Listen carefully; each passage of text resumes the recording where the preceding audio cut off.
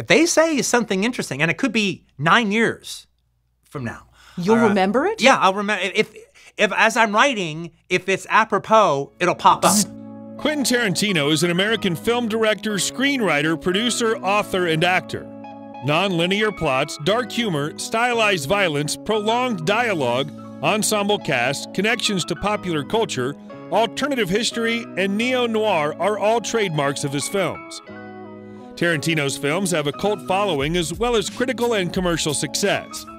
He's won two Academy Awards, two BAFTA Awards, four Golden Globe Awards, and the Palme d'Or, as well as being nominated for an Emmy and five Grammy Awards. He was named to the annual Time 100 list of the world's most influential people in 2005. He's been dubbed the single most influential director of his generation by filmmaker and historian Peter Bogdanovich. Tarantino was honored with a star on the Hollywood Walk of Fame in December 2015 for his services to the film industry.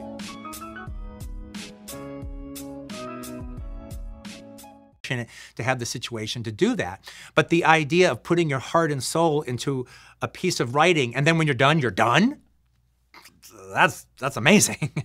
If you enjoy these videos, please remember to hit the like button as it does help us out a lot. And comment below who your favorite celebrity is that you'd love to see in an upcoming video.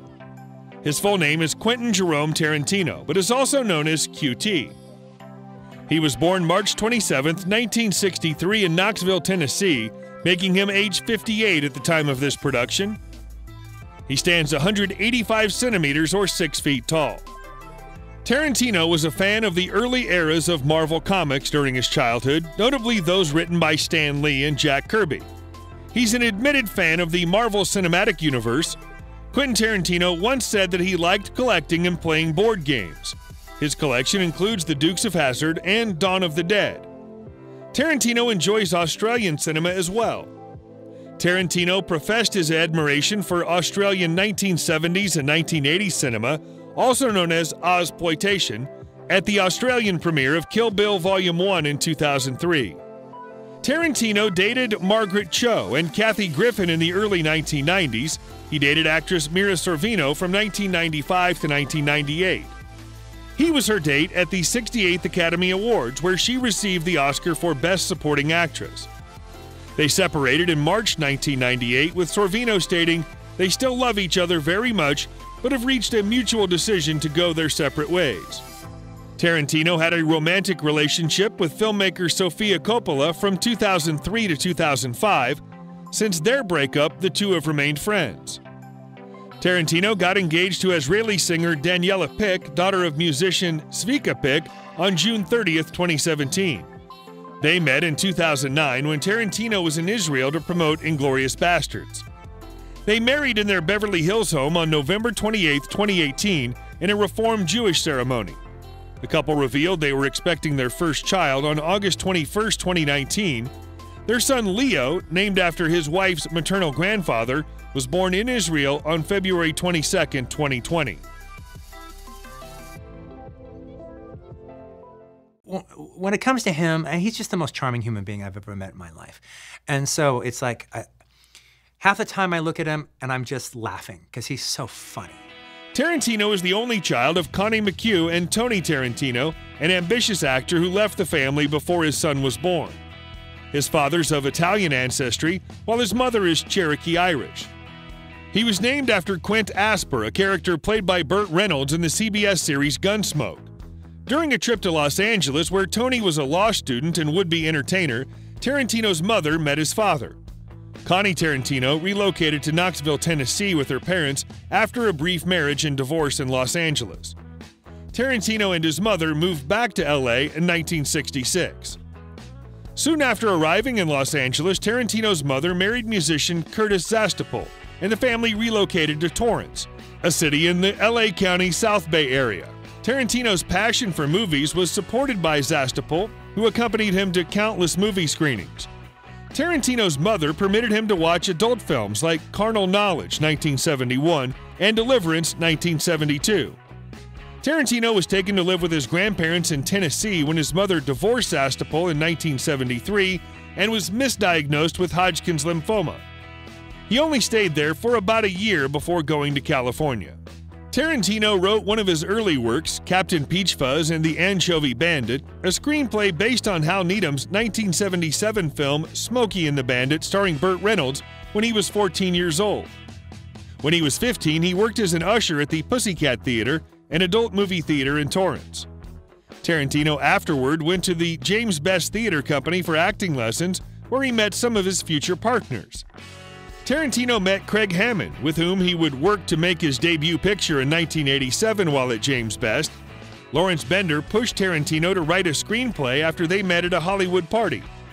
His first screenplay, which he described as a pure 70s exploitation action movie, was never published and quickly abandoned.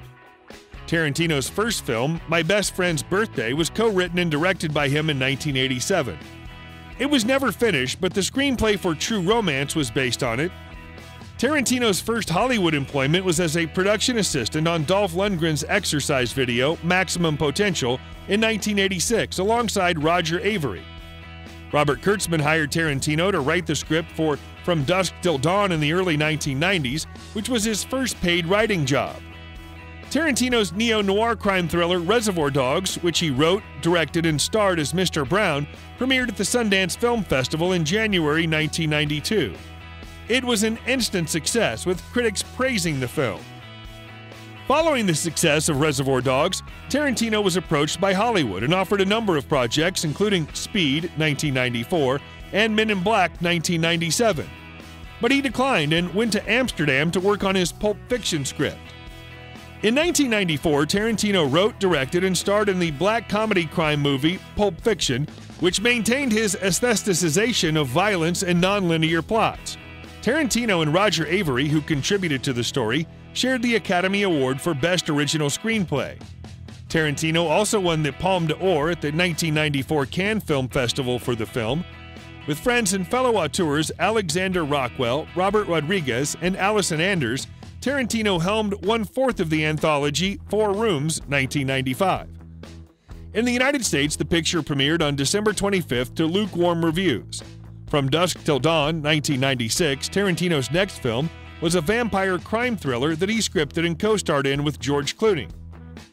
The film performed admirably in theaters. Tarantino had intended to begin work on Inglorious Bastards, as the film was tentatively titled, but he decided to postpone it in order to write and direct Kill Bill, a highly stylized revenge film. Volume 1 came out in late 2003, and Volume 2 came out in 2004. Tarantino's film Inglourious Basterds premiered August 21, 2009, to rave reviews and went on to become the highest grossing film in the world. It went on to become Tarantino's highest grossing film until being surpassed three years later by Django Unchained. His most recent film, Once Upon a Time in Hollywood, had its world premiere at the 2019 Cannes Film Festival, where it was competing for the Palme d'Or. It got strong reviews during the festival and garnered a seven minute standing ovation. So that was that was his last acting. Not only that, the night he died, what he was doing before he passed on is he was running lines. For his standard directing, producing, and writing services, on his own films, Tarantino usually obtains $20 million in advance. He also owns a sizable back end share of his film's income, which can amount to 30 to $40 million per film in some cases. Quentin Tarantino's net worth is $120 million. Quentin Tarantino divides his time between his Hollywood Hills mansion and his New York City private luxury condo. Tarantino's residence in the Hollywood Hills spans 8,733 square feet. Tarantino's estate is set on a private stretch of land, sitting nicely on a 1.23 acre lot. His house was built in 1986. In 1996, Quentin Tarantino paid roughly $3 million for his opulent home, Tarantino also has a fully operational historic movie theater in Los Angeles. The property, which is located at 7165 Beverly Boulevard in LA, has housed a variety of businesses under numerous names over the years. The cars you'll find in Tarantino's garage include a 1964 Chevy Malibu,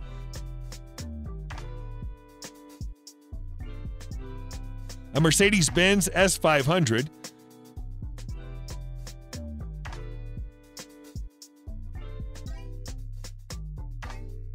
1991 Nissan Fairlady Z.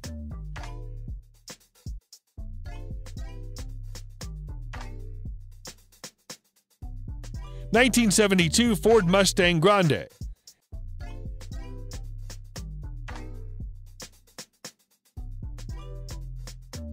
And a 1997 Chevrolet C2500.